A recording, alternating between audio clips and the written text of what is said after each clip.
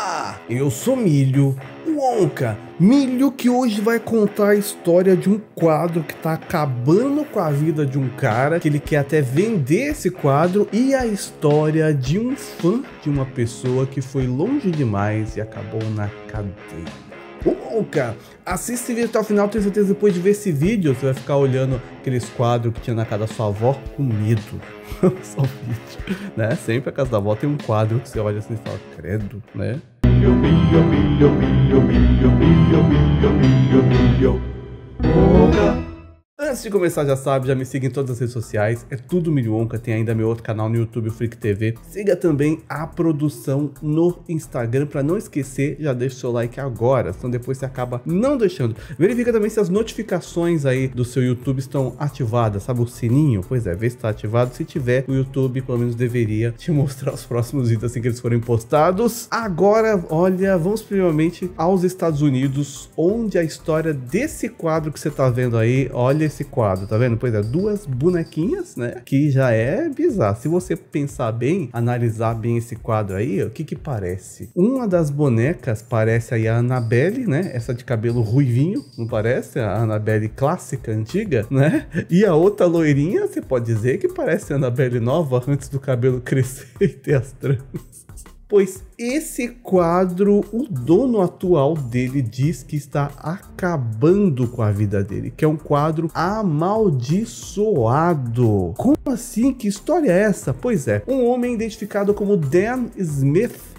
americano, que não se sabe de onde, e a matéria diz que esse nem é o nome verdadeiro dele, porque ele não quis nem se identificar, está dizendo que depois que ele adquiriu essa peça e essa obra de arte, a vida dele começou a desandar. Ele é chamado como um colecionador de coisas estranhas, tipo mais ou menos como os Warren faziam, né? Eles têm lá o museu da bizarrice deles, né? Que tem a Annabelle original e vários outros itens, né? Relíquias do terror, do sobrenatural. Pois é, então esse cara ele coleciona coisas que tem histórias assim estranhas e tal, ou que é algum objeto que pareça estranho, que talvez ninguém saiba a história real dele, sabe? Coisas desse jeito. Pois é, então ele gosta de colecionar coisas assim, que é interessante, né? Se pensar bem, é interessante isso. Mas acontece que recentemente ele adquiriu esse quadro aí, ele falou que foi numa venda de garagem, sabe? Quando a pessoa tá se desfazendo de coisa de, de gente que morreu da família, né? Conhecido também como mercado de pulgas, que tem umas coisas velhas lá para vender. Velha não, né? Às vezes é uma coisa antiga, vai valiosa, né? Umas coisas, digamos, de outra época. Assim fica melhor para descrever. Pois é. Ele disse que tava passando lá por um lugar desses tal, olhando umas coisas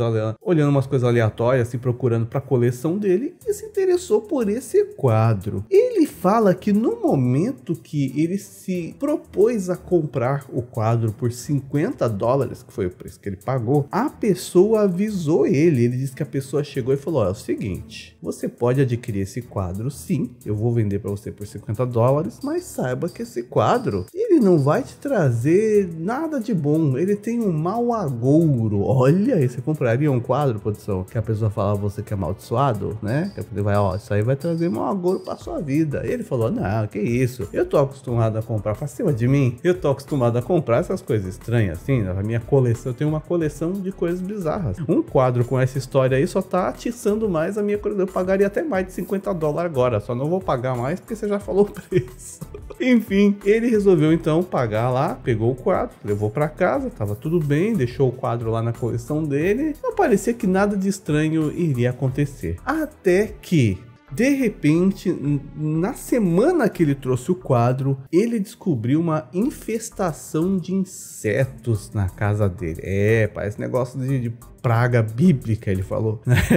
Do nada, sua casa tá limpinha, ok, tudo bonitinho. De repente você pôs um quadro lá, pá, de repente começa a aparecer um monte de inseto na casa. De repente, do nada, ele falou que achou uma infestação de insetos. Teve que mandar dedetizar a casa. Antes eu falava detetizar a casa, é dedetizar, né? Tem o dededrim, dededrim, dededrim. Só quem é velho lembra disso. Mas enfim, mandou lá, o cara vinha e teve que cobrir a casa com aquele panão, né? Tem um pano pano que cobre a casa, aí depois taca veneno lá dentro, todo mundo tem que sair por uns três dias até aquele veneno fazer efeito. Mó trabalho dedetizar a casa toda. Hoje em dia tem os equipamentos que faz mais fácil, né? Que, por exemplo, apartamento aqui só chega com uns né? Mas enfim, teve maior trabalho para dedetizar a casa e matar todos os insetos, a casa ficou sem insetos novamente. Aí depois disso, do nada, o hamsterzinho dele que estava em plena saúde morreu do nada faleceu também. Não, não, conseguiu achar nenhuma doença que causou a morte dele. Simplesmente o hamster morreu de morte morrida. Do nada. Tava bom, depois não tava mais. Isso depois do, da infestação de insetos da casa. Mas não é efeito do veneno, tá, galera? Porque foi investigado também. Ele falou que não achou o motivo porque o hamster morreu. Simplesmente morreu. Fora isso, ele começou também a se sentir extremamente mal. Ele falou que tinha um mal-estar e ele passava perto do quadro que tava ali. E sabe quando dá um negócio ruim assim? Que ele achou até que tava entrando em depressão. Começou a ter insônia também. Parece que o ar da casa dele ficou pesado e ele ele fala que a única coisa diferente que tinha na casa dele desde que começou essas coisas ruins acontecer era o quadro. E foi aí que ele lembrou do que a pessoa que vendeu para ele falou que o quadro ia trazer um mau agouro para casa, ia trazer, né, algo ruim para casa dele que ele não deveria comprar se ele, né, não fosse, sei lá, é, benzer o quadro. E aí, então, ele associou tudo isso de ruim que está acontecendo ao quadro. Sendo assim, aqui que entra uma coisa um tanto peculiar. O que, que você faria? Você destruiria o quadro? Ou você daria ele para alguém? Não, dar para alguém é maldade, né? O quadro tá trazendo só coisa ruim para sua vida. Fala, ah, toma, querido, esse quadro para você. Não, né? Não vai fazer. Mas ele decidiu se desfazer do quadro. De que forma? Vendendo no eBay, que é uma plataforma de venda de coisas novas e usadas. Ele decidiu então colocar lá para vender por preço um pouquinho a mais do que ele pagou, porque ele falou que assim, ele pagou 50 dólares pelo quadro, e mas teve que dedetizar a casa, o, o hamster dele morreu, aconteceu um monte de coisa ruim na vida dele, a vida dele não estava mais andando, ele falou, tem que pagar esse prejuízo também. E colocou um valor um pouco maior para venda do quadro no eBay, mas ele deixou claro lá dizendo: "Este quadro é amaldiçoado. Compre por sua conta e risco", dizendo bem claramente o que pode acontecer com a pessoa que adquirir aquele quadro. Pode ser verdade? Não sei. Não tem como provar que o quadro traz essa maldição para a vida dele. Pode ser golpe para vender o quadro mais caro? Pode ser golpe, né? A gente sabe que o mundo é cheio de vigaristas, principalmente com coisas sobrenaturais, assim, que você não tem como provar que é real ou que não é, né? Então, assim, se a gente levar pro lado da maldade, pode ser que ele tá inventando toda essa história aí, simplesmente porque ele comprou o quadro por 50 dólares e quer vender, sei lá, por 100, né? E aí, negócio amaldiçoado, ainda mais que ele pôs leilão, não é um preço fixo, ele pôs lá um leilão, então é a partir de um preço maior do que ele pagou. Ou seja, pode ser que ele tá inventando uma história por trás do objeto para tentar vender ele caro. Então, o golpe tá aí, cai quem quer. Mas, ao mesmo tempo, pode ser que realmente trouxe, sei lá, umas coisas ruins pra vida dele que ele quer se desfazer do negócio, né? Quem sou eu para dizer que não é verdade também? Enfim, acredita quem quer, né? No sobrenatural. Risca, inverte. Agora, olha, essa história aqui não tem como falar que é mentira. Essa história aqui não é sobrenatural, é bizarríssima e verídica, porque deu cadeia. Olha essa história uma moça que não foi revelado o nome dela, mas tem a, ela foi descrita na matéria como NR. Então vamos chamá-la de de quê? De Nair. um nome com NR, portanto. Eu só lembro de Nair agora. Enfim, a NR é uma moça que fazia o seu próprio conteúdo na internet. Mais especificamente, naquele site OF. Conhece aquele que só tem fãs? Pois é, naquele site de somente fãs, sabe o que eu tô falando? Não, se procura aí na internet. Então, aquele OF que, né? Enfim, ela posta lá o conteúdo dela, lá com fotos e vídeos dela mesmo, né? Sensualidade, a beleza dela explorada para vender o conteúdo. E ela vive disso, não tem nenhum problema nisso. A vida dela rodava naturalmente com isso. Ela vende lá o conteúdo, ganha o dinheiro dela, faz mais foto, vende, faz mais vídeo, vende, vive disso. Até que um belo dia, ela começou a notar que um cara, um fã, assim, mais, como é que eu posso dizer, exacerbado, queria, além de dar o, o dinheiro pelo conteúdo dela, dar presente para ela, né? O cara, ela falou, bom, presente, assim, do nada, né? O cara tá apaixonado aí, né? Tem uns caras que apaixonam a distância, assim, nesse ponto, de ver as fotos. Nunca viu a pessoa na vida, mas se apaixona ao ponto de achar que vai casar com aquela pessoa. E aí começa a mandar presente, quer virar sugar daddy, né? Mas nesse caso aqui nem era Sugar Daddy, porque o cara tinha tipo 20 anos. Então, geralmente Sugar Daddy é um senhor mais velho, ricaço né?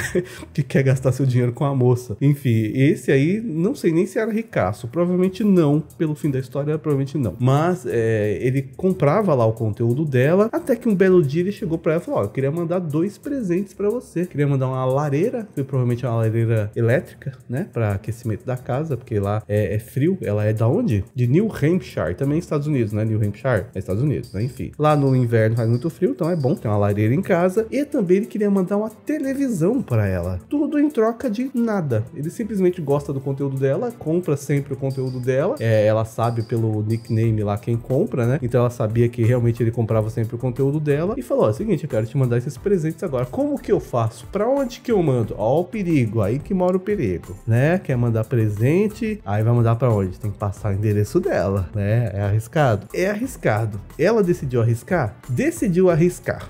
Passou o endereço para ele, porque assim assim, ela também disse que ela não, não, ficava muito tempo num lugar. Ela alugava um apartamento por um período, aí sei lá, ficava um, dois meses e tal, depois ela se mudava. Então, é, passar o endereço não é uma coisa tão problemática para ela. Ela passou o endereço, meio com medo, mas passou uns dias, chegou realmente na casa dela uma televisão e uma lareira. Imagina, chegou mesmo o negócio, o cara tava falando a verdade. Chegou na casa dela os presentes. Mas se ela passou o endereço, há um risco, né, da pessoa saber onde ela mora, ou pelo menos onde ela estava morando temporariamente. Passou uns dias, o cara tava lá na porta da casa dela. Olha o problema. Imagina um fã carente atrás da moça bonita que ele tava vidrado por ela já, comprava qualquer conteúdo que ela postava, começou a mandar presente e agora sabia o endereço dela. Pois é, virou um stalker, né? Começou a aparecer lá na frente da casa dela. Aí ela descobriu que esse cara que tava aparecendo na casa dela lá era o cara do, do site lá que comprava o conteúdo dela. E aí, realmente, ela ficou muito assustada. Aí ela pensou: bom, eu não moro muito tempo num lugar só. Daqui um tempo eu vou me mudar, né? E aí ele não vai saber mais onde eu tô, não vai ter mais meu endereço. Acabou essa história. Ok, passou alguns dias, ela se mudou, falou: nossa, tô livre desse maluco.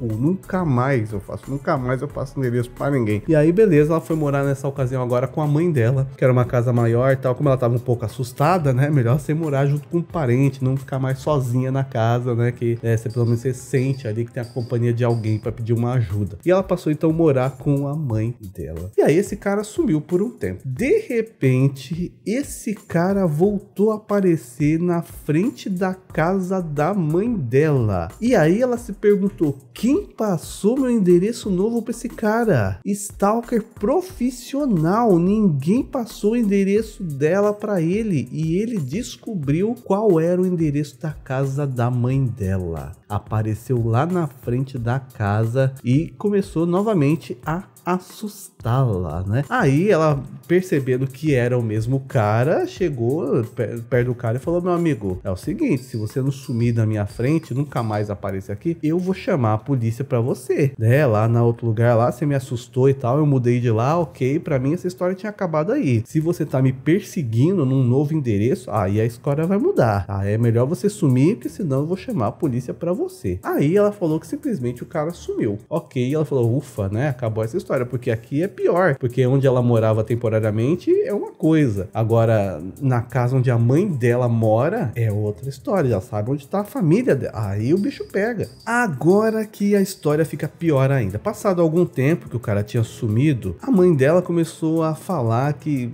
tava perdendo uns negócios, sabe? E ela deixava coisa num lugar e aparecia no outro. E ela fechava uma porta, a porta aparecia aberta. Ela fechava uma janela, a janela aparecia aberta. Ela falou: Filha, eu tô ficando maluca. Tô ficando esclerosado. Tô, acho que eu tenho Alzheimer, faço as coisas e esqueço que eu fiz. Aí a menina na hora deu um estalo e pensou: será que o cara tá invadindo a casa? Acho que não, né? Porque não, não vai pegar o cara do nada assim. O cara não vai se arriscar a esse ponto de invadir a minha casa. E elas não percebiam ninguém lá dentro. Então, é, falou, sei lá, deve ser coisa da cabeça, né? Eu tô tão preocupada com essa história que começa a criar é, encaixamentos de histórias que não tem nada a ver uma com a outra, porque isso pode acontecer também. Até que um belo dia, a mãe ouviu barulhos no sótão da casa. Sótão é aquele cômodozinho que tem em cima da casa, onde não mora ninguém, sabe? Guarda das bagunças lá, que se, no, nos filmes e séries aquelas portinhas que você abre o teto assim? Pois é, então. No sótão da casa, a mãe dela ouviu uns barulhos e não parecia ser rato, porque eram uns barulhos de algo muito pesado para ser um rato. Chamaram então a polícia, porque a menina se tocou, falou: não é possível que esse cara entrou no sótão da casa. Aí, antes da polícia chegar, elas falaram: bom, vamos dar uma olhada lá em cima para ver o que tem. Chegaram lá, não tinha ninguém, não tinha nenhum cara lá, mas acharam lá restos de comida e um copo com urina. Olha que bizarro. Vestígios de que alguém esteve ali no sótão da casa dela. Aí elas já ficaram cabreira. Falaram, não, esse cara tá aqui sim, né? Ela contou pra mãe dela toda a história do cara perseguidor. A mãe dela falou: é o seguinte, vamos então ficar quietinha em casa. E aí, se a gente ouvir um barulho lá no sótão, a gente chama a polícia de novo, que deve ser o momento que ele tá lá, né? Pode ser que quando a gente foi lá ver, o cara fugiu. Se ele não voltar mais, ok. se ele voltar, gente chama a polícia. Aí passou um tempinho, ouviram de novo barulho no sótão, chamaram a polícia. A polícia chegou rápido no local, porque tava ali já na região, e conseguiram prender o cara lá dentro. Ele tava tentando sair pela saidinha que ele usava lá da janela para fugir, quando foi pego pela polícia. A pior parte não é nem você saber que o cara foi notado ali duas vezes no sótão. A pior parte é descobrirem no celular dele imagens gravadas, vídeos gravados da moça dormindo na cama dela. Ó que bizarro. Para piorar, em alguns momentos nesses vídeos, ele chegou a descobrir ela, tirar a coberta, o lençol e tudo mais, para gravar ela dormindo sem nada cobrir ela. Ela tava nua dormindo. Ele descobriu ela e gravou vídeos disso. Olha que bizarro. E vários momentos tem gravações dele gravando o quarto, assim, tipo ele entrando no quarto dela e tudo mais, sem ninguém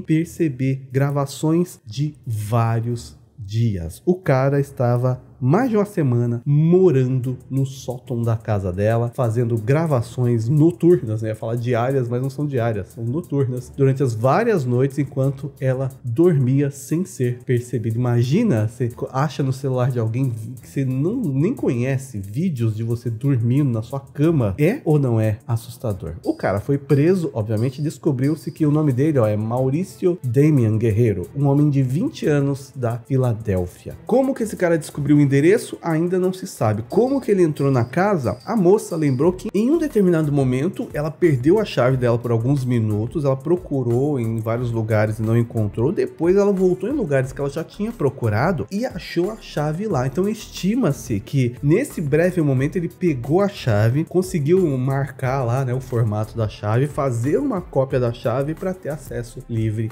à casa. É a única forma que ela entende assim que pode ser que ele tenha conseguido adentrar a casa facilmente, até porque se encontrava janelas abertas, portas abertas e algumas portas tinham chave, então só com a chave dava para abrir e deixar aberta. Não era porta interna, era porta que dava acesso à rua, ou seja, só com uma cópia da chave para entrar lá. É ou não é uma história bi bizarra. Olha, é realmente assustador isso, principalmente a parte de alguém te gravar dormindo, alguém que você nunca viu na vida que tá morando na sua casa.